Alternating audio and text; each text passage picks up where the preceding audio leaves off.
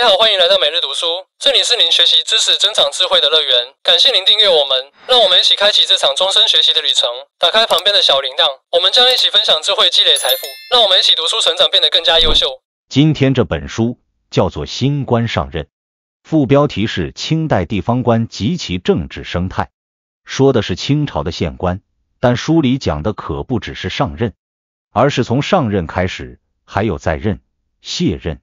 一整段完整的县官生涯，上任说来轻巧，但仔细想想，一个多年寒窗苦读、埋头学习的书生，平时读的是四书五经，科举考的是八股，考上进士的时候可能都三十多岁了。接下来要去地方上成为独当一面的父母官，以前读的书其实都不太能帮上忙，不管换成谁。突然从象牙塔里转到职场当领导，一下子都会手足无措。所以这个上任过程不仅是物理意义上移动到县里，还有从心态、技能等等方面，从头学习一套为官之法、处世之道，从书生、秀才变成一个社会人。虽然儒家学说教导清代的儒生们当官要当民之父母，实际上并不那么简单。比如到了县里之后，要怎么打点地方豪强？不听话的下层官吏要怎么管理？民众告上来的案子怎么把握审判尺度？等等，这些都得重新学。这就要说说这本书的特别之处了。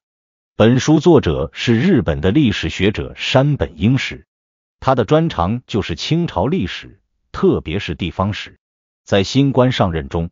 他别出心裁的收集了清朝官员撰写的官箴书和公读两种历史文献，来解读清代地方官怎么看待自己的工作。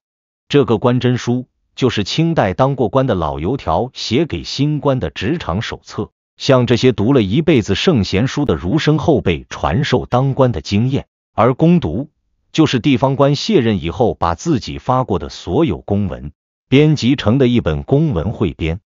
这些文书中的内容可以说是包罗万象，包括新科知县如何组建新班子，后任过程中如何抵制物质诱惑，公文内容模板等等，可以说是不管什么实际问题，都会在这些文献里找到相关的经验和建议。通过这些从清朝官员的亲身经验中得来的材料，我们可以发现。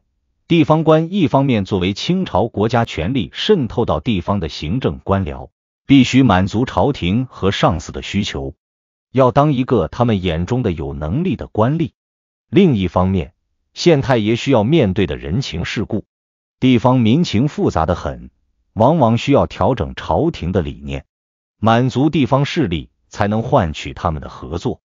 特别是这本书选取的材料大多来自清朝前半期。是中国逐渐从动荡走向稳定的过渡期。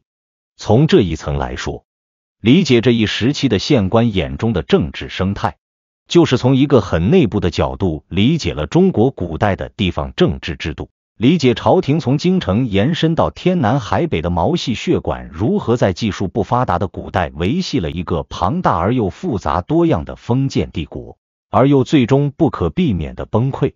所以，我把本书也分成清朝县官的三个阶段。第一个问题是赴任阶段，会介绍县官们上任要做什么准备。我们可以了解到，为什么其实清代很难发生让子弹飞那样的冒顶县官的事件。第二个问题是到任阶段，看看县官和自己的手下、民众等等都是什么关系。第三个问题就是卸任阶段，县官们注定有一天会离职。他们如何给自己打造人设，让别人觉得他做得好？一新官上任要做什么准备？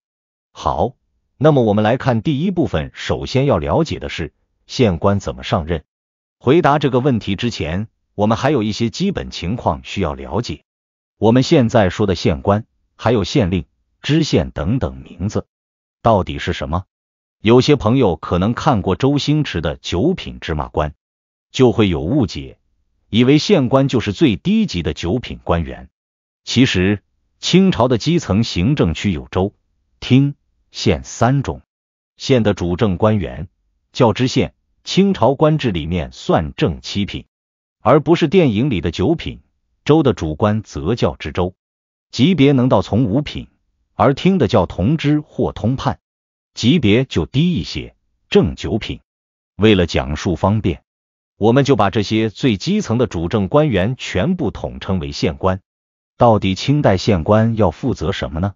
细说的话不少，但被上司纳入考核的，主要就是两大职责，分别是刑名和钱谷，也就是司法审判和收税。案件裁判当然要公正，钱税收的自然是多多益善。但同时，朝廷和儒家规范都要求县官们当慈悲为怀的父母官，要切记变成严刑峻法而引发民怨，也不能为了收钱而太过盘剥。好，理解了县官的概况，怎么样能当上县官？在清朝，县官一般是官场生涯的第一站。但又不是只有完全通过科考三大官乡试、会试、殿试的进士才有资格当县官。事实上，通过了乡试的举人，可以凭借某一方面的特长，通过特别拣选被截取成为候补。国子监的贡生在经过吏部考核以后，也可以获得候补资格。以上这几种叫做正途，当然有正途，也有歪门邪道，叫异途，一般靠捐纳。也就是花钱买，或者因为，也就是拼爹，因为祖上立过功而被授予官位。我们假设一个叫小帅的秀才，已经获得举人的身份，但是会试屡屡不过，能不能当官呢？能，但是要等等。全国总共也就一千四百多个县官位置，说多不多，说少不少，只能等有空缺才会补。就算是科举中了进士。也得先回老家等通知，长的要等三十年，短的几年就能碰上。有缺额以后，吏部会通知让小帅来北京等安排。小帅也许会等二十余年，年过四十才轮到被通知补缺。到了京城，小帅没有什么明确的日程安排，应该如何度过呢？小帅翻了翻官箴书，发现有几点特别值得注意。第一点。是多年寒窗，来到京城，切记不要被声色犬马所诱惑，最好住在远离女色和闲杂人等的地方，比如某处清静的寺庙里。吃穿住行都要尽量朴素。第二点就是要尽量避免经债。所谓经债，就是特指在北京银号里借的钱，往往就是高利贷。新官借钱的主要原因不是贪图享乐。而是因为朝廷不包赴任的差旅费，如果要带家人一块出行，之后还要找什么家奴、厨师、幕僚等等，都得自己出钱。一介书生哪来那么多存款？有些人运气好，亲朋好友能凑出来，但大多数人只能找高利贷。这些债主为了防止县官欠债不还，会专门派人跟着县官。从每年县官收入里抽成来付清本息，债主跟到了地方，被人看见就会影响自己的权威。当然，最基本的大清律、六部条例等等基本政策，也应该趁机熟读。等每月二十四日，吏部就会通知这一批来北京候任的人面试，面试第二天就要准备抽签了。抽签有一个小规则。就是如果抽到了家乡和家乡附近的县，得回避，需要重抽，确保未来的目的地对新官肯定是陌生的。但这些陌生不代表一视同仁。赴任的有四个缺，分别是冲、樊、皮、南。冲就是地理位置处在兵家必争的要冲地方，樊就是人口杂多，事务繁忙，皮。就是当地民众不配合，对政令很怠惰。难就是叛乱多，冲突多。这四个字占一个就是减缺，占两个算中缺，能占三个就是要缺，四个都占叫最要缺。小帅虽然知道减缺肯定清闲，但为了能在当官第一步就干出名堂，当然也为多领些俸禄，三字缺总是更诱人一些。我们的小帅抽中了鹅城，算是要缺。接下来再见完皇帝，就得准备启程了。小帅从吏部领到一份任官证明书，写有自己的基本情况和样貌，一并还有鹅城的征收税额、杂收入额等等资料。自己还要多了解一些赴任地的信息。最简单的办法当然是查书，比如户部有记载法定服役数额的复议全书，可以查到地方钱粮和人口情况，看看有没有遗留未结清的钱粮案件。不过，书上的信息肯定不够，想要了解具体信息，还是得靠人。所幸京城汇集了全国各地的人士，可以直接前去拜访，问清楚当地有什么土豪。恶霸之类值得额外注意，预先想好应对方式。不过，主动来拜访小帅的人也变多了，他们来判断这个新任县老爷到底几斤几两，在他到县里之前就准备好怎么巴结他。有本官箴书特别提醒，对于这些人要谦虚谨慎，要与当地出身的官僚和士绅交好朋友，也不能被他们抓到把柄。这期间，双方给对方留下的印象，都是为未来的交往做铺垫的。有个县官记载，自己县上有一群恶霸，号称金刚天王罗刹，连县衙里的人员都是他的党羽。知道有新官，就派人去京城拜访，探探虚实。这个县官早就调查清楚，知道来人用意不善，口风很紧，完全不谈县里事务。探子回去报告说，新官很不好打交道，一下就把亲自去京城献殷勤的人都吓跑了，害怕被新知县看穿自己。这个阶段也要找好自己的仆人和幕友，其实就是师爷之类的顾问。选这些人，品德最重要，才华和智慧都可以往后放。如果木有品行不端，再厉害也是害自己。关于这些人的更多细节。我们在下一节再展开。书查完，人也见得差不多了，小帅心里有了底，就可以给新的上司写信禀告已经启程，然后再和京城交的相关人士辞行完毕，动身前往目的地。辞行其实也是为了搞好关系，免得被人认为交情不深而不告而别。当然，鹅城的县衙也会派人前来迎接，加上还有委任证明。确保到任的时候能够认出新官，避免有人冒领知县。总结一下，在清代，如果想当县官，有正途和异途之分。正途就是靠读书，异途就是靠花钱或者祖上有功。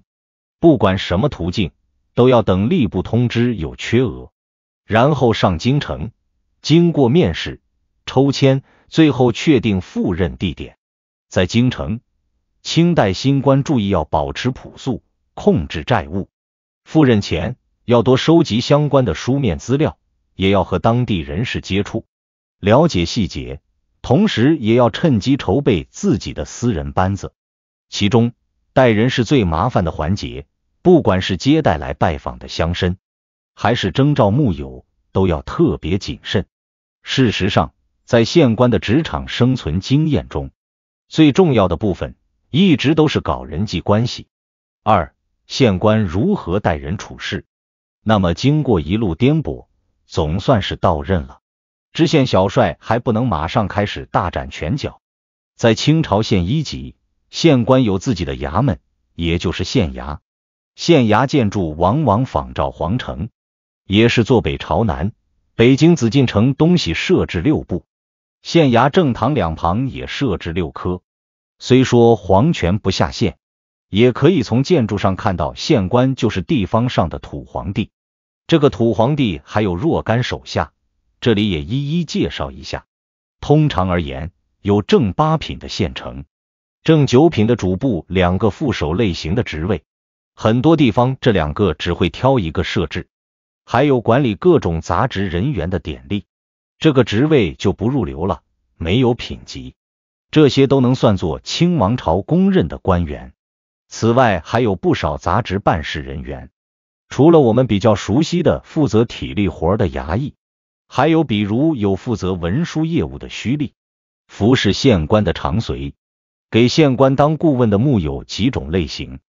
胥吏和衙役基本上是当地居民来担任，可能多达上千人，胥吏没有俸禄，只能靠惯例的办事费或者贿赂作为收入，而衙役则每年还能领几两银子，而长随则只有几十人，由知县出钱雇佣，充当知县和其他人员的桥梁。木有最少大概就个位数，但是至少要包括管收税的师爷和管审判的师爷各一名。木有，俗称师爷，地位很高。既要帮知县出谋划策，也要监督胥吏和衙役，避免他们肆意妄为。木友和长随都是县官亲自挑选的，而胥吏和衙役则都是在本地挑选，受贱民待遇，不能参加科考。不过，清朝到任的知县不能立刻进衙门，还要在城隍庙留宿一天或三天，同时也要斋戒，不吃荤，称为斋宿。此后才能搬进衙门。之所以有这一步，是因为城隍可以理解为神仙界的知县，掌管本地祸福，知县要表现出足够的尊敬，才能获得首肯。宅宿完毕以后，到了衙门就要张贴告示，宣布自己的当政理念，再颁布堂规，讲清楚怎么约束自己的手下，这就算正式展开工作了。小帅当县官的一天是怎么度过的呢？每天黎明，小帅在县衙里的宅邸醒来，叫人打开县衙大门，手下们抵达工作岗位。天亮以后开始办公。小帅上午主持澡堂，把文件发给手下，接受部下上呈报告，也会受理诉讼、审问犯人之类的。然后小帅回到县衙的签押室，研究文件。并且准备下午要处理的诉讼，然后下午的午堂一般是专门用来审判，一直到下午四点，也有些时候案子多，晚上还得再开庭。到七点，所有衙门工作职员全数集合点名，小帅就可以关门了。前面说过，县官的大部分精力都会消耗在怎么对付地方上的各色人等上面，到任后更是如此。县官主要接触的人分为四种：官、吏、士、民，分别都需要不同的待人法。我们分别展开。清代官箴书所概括的这些官，就是那些和小帅一样有编制、被中央外派到地方的官员。这些人普遍都是尊崇儒学的知识分子，相对来说比较容易应付。其中最重要的就要数掌握自己人事未来的上司们了。关真书里嘱咐，到地方上以后，近则三天，远则三月以内，应该尽快去拜见上司。还说态度不能太傲慢，但也不能太谄媚，要尊敬、勤勉，以礼相待。有个县官在自己写的关真书里记载，有一次他被人诬告到了省里的巡抚，所幸作为上司的按察使和布政使都为他背书，他才免于一难。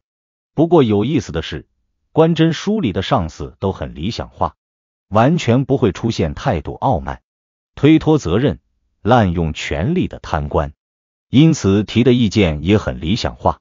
小帅如果碰上恶霸上司，要强行勒索他上交税收，或是把粮仓亏空算到他的头上，关真书在这方面是完全没有帮助的。不过有些关真书还教导。要注意维护同僚关系，就算是意见不合也得忍着。比如隔壁地方的县官办案可能会需要两地协作，应该经常来往。官们虽然位高权重，却都以循规蹈矩为天职，是四种人当中相对容易对付的。书里说的吏，就是包括衙役和胥吏在内的各类没有编制的实务人员，也叫胥役。我们现在说对下属恩威并重。而关真书教怎么对付小吏，基本上只会提威，而很少见恩。比如前面那个要处理金刚罗刹的县官，到了衙门以后，就嘱咐找几个手最狠的衙役来拿竹板，在衙门门口给和罗刹一同作奸犯科的胥役点名，就地打板子，吓得他们跪地求饶。县官一连打了二十几个，当地民众都拍手称快。这种下马威流传很广，以至于后来演变成了官场惯例，称为迎风板。为什么要这么恐吓下属？整体上来说，由于清朝知县最核心的两大工作——钱谷和刑名，最后都需要虚役配合执行，也就是最扰民的末端工作都归他们干，所以老百姓常常叫他们鹰犬、爪牙之类的恶名。不仅如此，这些人在官箴书里也往往以衙督的名称出现，也就是衙门的蛀虫的意思，虚隶书役四个字，经常和刁滑奸恶排列组合。明明负责的是衙门的基层实务，老百姓不待见就算了。为什么连县官也头疼？究其根本，是因为他们出身低贱，收入微薄，又被列为不能科考的贱民。作为官府权力的最末端执行者，他们只能用权力喂养自己的家庭。想要治理衙督又不简单，一来民众害怕报复，二来铁打的衙门流水的官，很多虚意自己在当地有比县官甚至省官更广的关系网。想要斩草除根几乎不可能。三来虚役们归根结底是给县官办事，很多贪污和滥用权力的好处是流向县官的，县官也很难断自己的财路。至于清代的士，包括当地乡绅、生员等等在内的本地实权人物，他们与县官虽然同属士大夫阶层，但立场并不一致，是可能认识本地出身的官僚。或者自己就有官僚经验，又或者未来会成为官僚，在本地有一定威望，能成为官和民之间的桥梁。对这些地方上的实权豪强，虽然朝廷的态度是抑制，但县官没法离开他们的配合。比如在县官到任时，要召见全县参加科举考试的生员，其中有些生员会代理申诉，特别是新官上任的时候。趁不了解情况，许多陈年旧案会被翻出来重新上诉，而有一些人就属于劣金，也就是品行恶劣的读书人的意思，会借自己的身份把持赋税，操纵衙门。前面讲的金刚天王罗刹就是这种。对于县官来说，吏还能打板子恐吓，适才是最难应对的。不少官箴书里都要花很大篇幅附加自己的个人经验。绘声绘色的描述如何既制服不听话的劣绅，又没有得罪更多人。对付事的难点核心有两个，第一个是道德难题。一方面，县官都是读书人，想按修身、齐家、治国、平天下的道德理想来当一个清官，但是地方施政力本来就很难操控，还要再得罪豪强，基本上也无法指望做出政绩了。而第二个难点，清朝县官和豪强们互相讨好合作，但是朝廷会派人到地方检查，和地方势力走得太近，会被认为涉嫌徇私枉法，也无法获得晋升，甚至遭遇弹劾，这就是考核难题。总的来说，很多官箴书的建议都是委屈商量，有什么不爽的，还是得忍性气，能妥协求全就不要硬碰硬。就连前面和金刚天王罗刹正斗的那个县官，也劝新官不要妄想自己能当横扫一切豪强的清官。他说，县官作为父母官，市民不孝是自己的责任，但一味打骂也不能教育好他们。更重要的原则还是律己，一方面是以身作则，可以感化他们；另一方面也是避免被牵连。说到底。是合力为什么都难搞？其实是因为他们实际上在编制外补足了县官权力的缺失，官不够，所以需要力。但是这么多的力，别说县官出钱，朝廷也不一定付得起。而民间纠纷如果都由官府裁决，还需要多少的司法机构和检察机构？于是清朝把收税和诉讼都包给士人等等中间人代理。成为清代一直无法根除的腐败温床。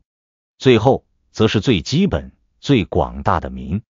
都说县官要当民之父母，不能成为贪官，也不应当做酷吏。其中有一本官箴书就说，为人父母看到孩子痛苦，还要抚摸照顾，如果还拿鞭子打孩子，这怎么忍心呢？这就是说，就算租税交不上去。对老百姓也应该慈爱为本，不能强迫。但实际上，如果看公文汇成的公读，会发现县官更关注的不是良民，而是刁民。有诬告他人的、赌博的、骗婚的，这些当然是恶棍。但是爱打官司、私设香堂等等，也算刁民。这是因为这些行为侵蚀了县官作为地方司法长官兼地方神职代表的权威。在公读中，县官会通过严惩严办，在审判的谚语中痛斥不法之民。不讲父母慈悲，也会发布告示劝诫。虽然父母官看起来是个好好先生，但是不要试探底线，否则就会很惨。总的来说，待民之道要恩威并举，不仅要声明会严格法办，对侵犯县官威严的行为也要严惩。但另一方面，也要体恤老百姓，不能做得太狠。这也会和后面讲到的卸任准备有关。总结一下。清朝县官在任上要处理极其复杂的人际关系，有官、吏、士、民四种，对应四种搞好关系的待人之法。官要好好尊敬，吏要严加看管，士则要委屈商量，而对民则是恩威并举，进行道德教化。尤其是在清朝前期，有的地方因为海禁和朝代更迭，造成暴力动乱。有的地方虽然没有暴力反抗，但是矛盾还在，造成民众喜欢打官司。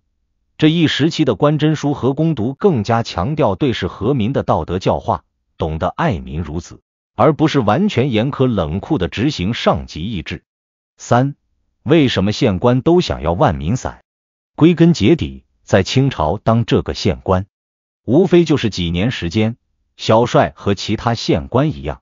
心里是想上进的，虽然很多官箴书说官员的声明得在开头的到任阶段就打好基调，但并不是说要走了就不管了。很多恶名就是任期最末才来的，要讲究善始令终，开头和结尾都要好。每三年，朝廷就会有一次评定成绩，来决定官员进退。其中，清王朝对于地方官僚有六种差评分类。分别是不勤、裸软无为、浮躁、财力不及、年老、有病。后两种是不可抗力，而前四种是可以努力避免的。先前好好尊敬过的，包括知府、巡抚等等的上司，此时就会负责写评语，按照有没有执行好前谷和刑名这两大职责，决定升降。如果小帅经过评定，上级一致认为当的不错。之后就要被推荐提拔到京城去了，在交接班的准备阶段，他还有很多事情，他要清算钱粮，点名账簿，清查各种衙门的财产，还要结算清楚各种案件，整理诉讼材料，还要奖励这些年服务得力的虚役，和交好的世人辞别。当然，更不能忘了给上司和同僚辞别。不过，就像前文所述。这两条并不是父母官的评价准则。作为父母官的理想标准，县官应该问自己：做了什么造福地方的事，给了百姓什么好处？清朝县官一方面想要好民之所好，恶民之所恶，以老百姓为尺度，但另一方面还得满足上级需求。这二者的平衡非常考验个人能力。说到底。清朝父母官的儒生理想和朝廷命官的政治现实，这个冲突贯穿始终。升迁与否，这是官方评价，自己到底有没有做到父母官的理想，还得看老百姓最后如何评价。小帅在一本官箴书上读到过，如果老百姓觉得自己当得好，会在临别时复原卧折。这是什么意思？这是说人把身体趴在车轮上。躺在车前，阻挡县官离开，这是从汉朝就传下来的典故，用来表达对县官的不舍。与之类似的，还有要求县官把鞋子脱下来，对县官要求向朝廷再借用一年等等。其他行为还包括立德正碑、送万民伞、送牌匾等等。相对的，也有置户怀砖的典故，就是把县官的窗户堵住。在他走的时候，还要拿砖头丢他。有些地方还发生过更暴力的抗议。当时百姓把城门关上，阻拦恶官离开，夫人的衣服被扒掉，把他的随从也痛打了一顿。但是你可能也想到了，其实无论丢砖还是爆车轮，这些并不会影响县官的去留。实际上，有些地方士绅会为了筹款立德正碑而勒索百姓，还有一些地方官是买通了人，让他们表演挽留。在清朝吏治整顿中。八轮子和丢砖头都叫刁风恶俗，干扰行政。雍正专门下令整顿过，但不可否认的是，很显然，地方上的人们通过这些表演来表达对当时官员看法，既是眷恋，也是示威，寄托了对下一任父母官的要求。这也往往是百姓能够不受拘束的提出一些要求的唯一时候。清朝道德理想和政治现实的冲突，不仅仅困扰着县官。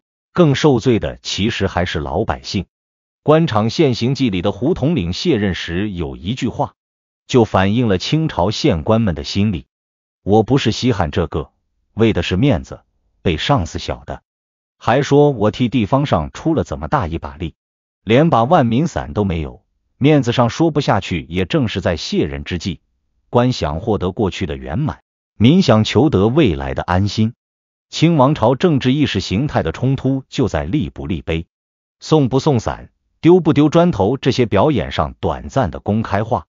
听了这么多，可以想见，在清朝当县官很难。县官的难就在于理想和现实的分离。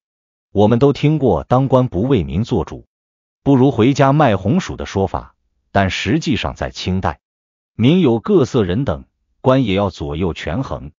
本书史料大多出自官真书，攻读平衡的展现了清代地方官的理想和现实。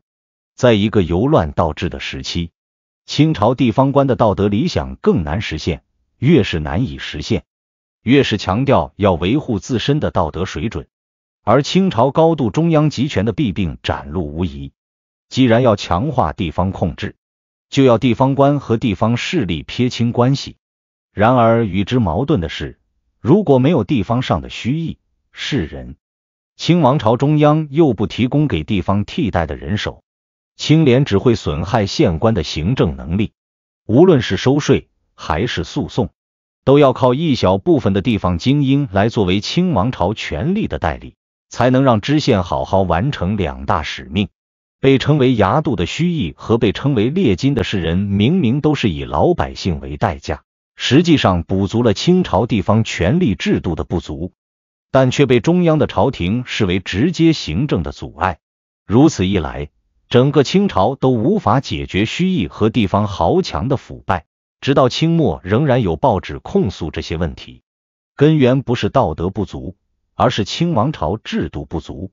儒家的道德理想虽然帮助官僚建立了统一的道德观。试图以个人的慈悲去弥合清朝政治制度中无法调和的矛盾，但是在实际的施政中，就会不断的产生不符合父母官标准的行为，最终还要担忧面子上说不下去。